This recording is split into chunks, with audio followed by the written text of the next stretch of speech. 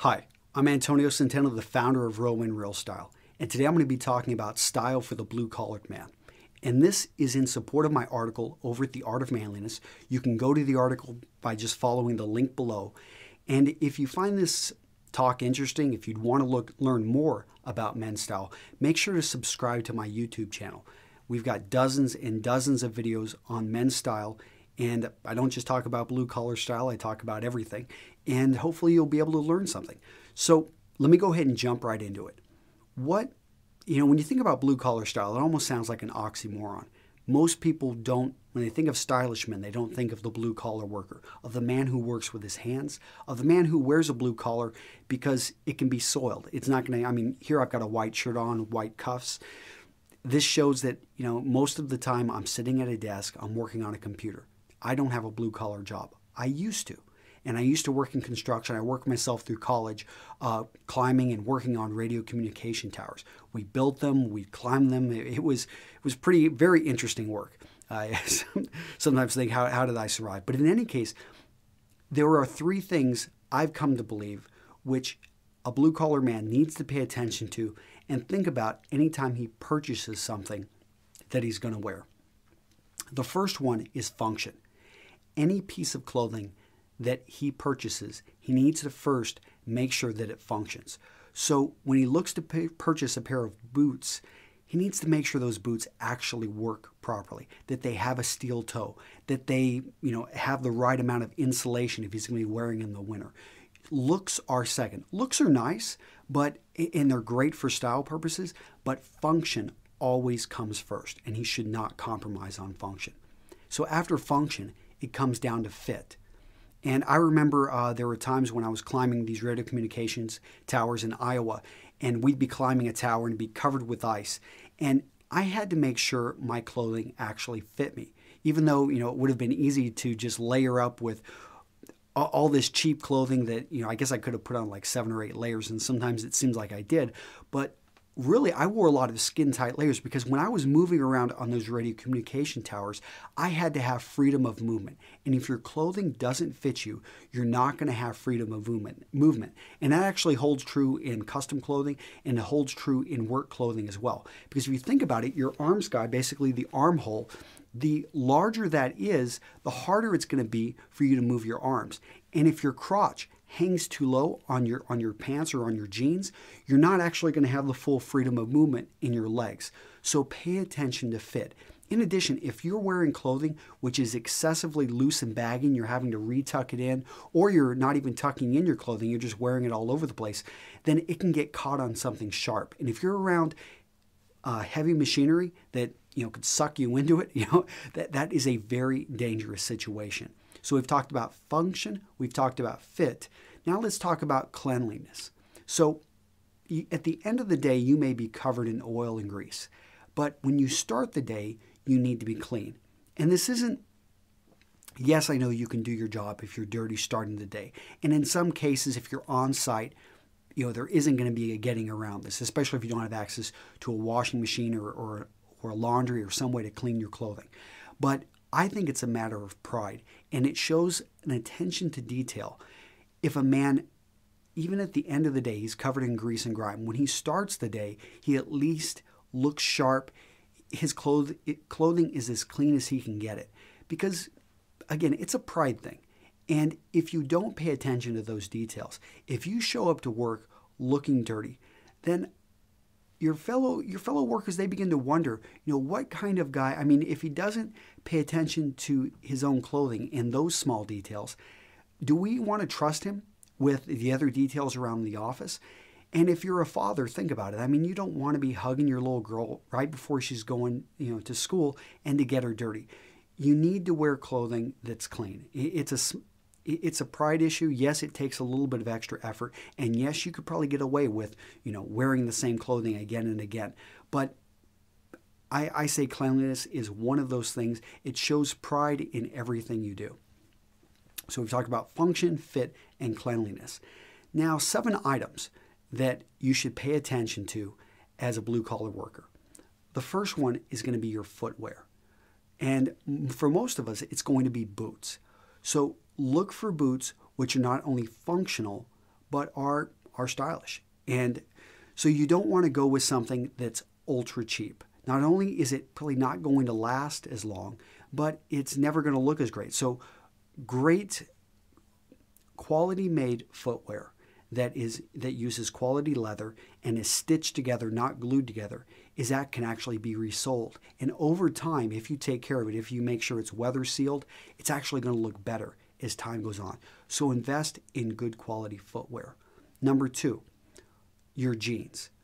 Okay, so jeans were developed as uh, as workwear, but it's probably actually harder in the year 2011 to find a good pair of quality work jeans than it was in 1911. Because in 1911, all the jeans were workwear.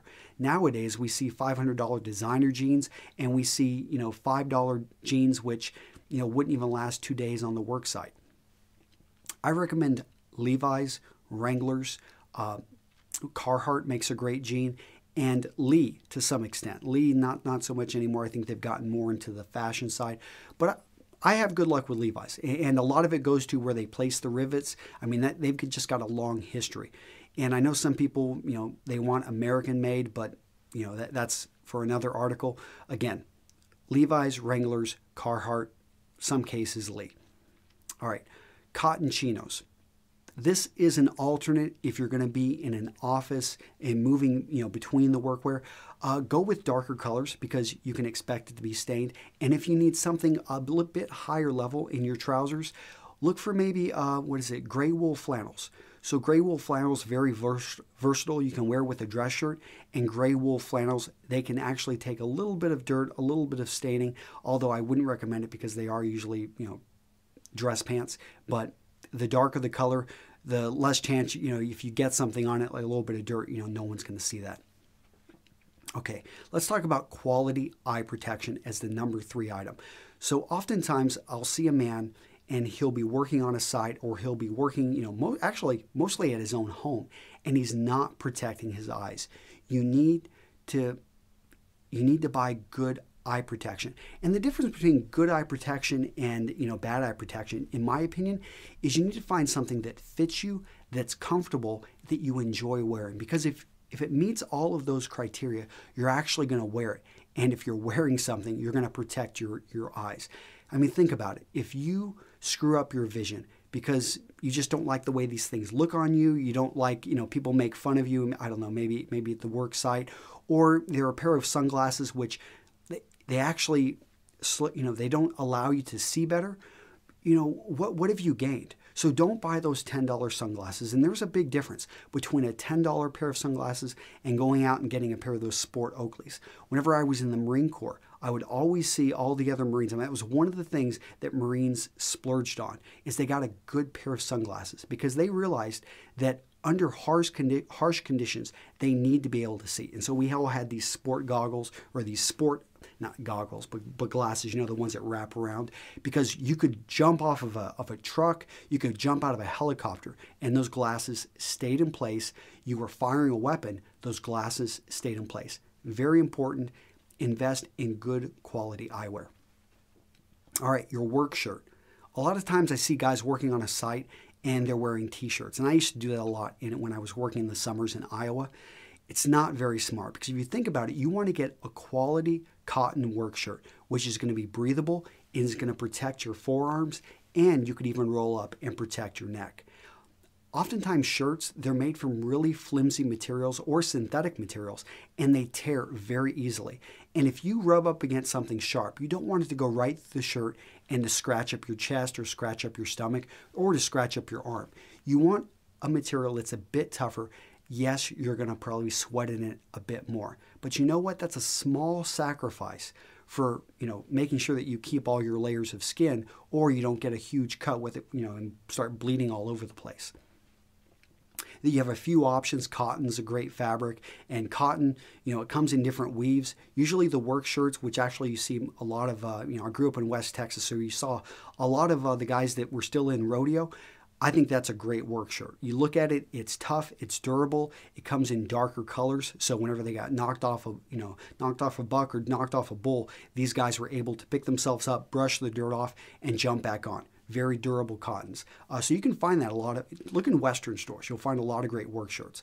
Also, uh, denim is a great shirt. It's a bit heavy, hot, you know, you don't want it for, for summer wear, uh, but chambray. So this is not going to be as durable, and a lot of times it's going to be a bit more expensive, but you can find some great chambray on sale. You know, you'll have to look for it, and this is great for lightweight. And if you get hot, roll up the sleeves you know, you at least have the option of rolling them back down if you think you're going to be in a situation that calls for it.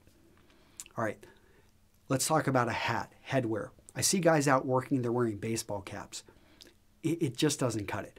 Look for a cap or a piece of headwear that allows air circulation. A straw hat is great, something that, you know, you don't need to wear a cowboy hat, but I'm talking about something that's going to protect your neck, going to fully protect your head, and allows your head to breathe.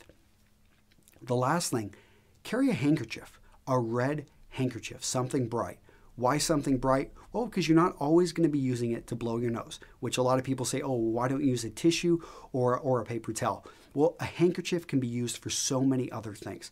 So you've got a, a long piece of pipe that you're carrying in the back of your truck.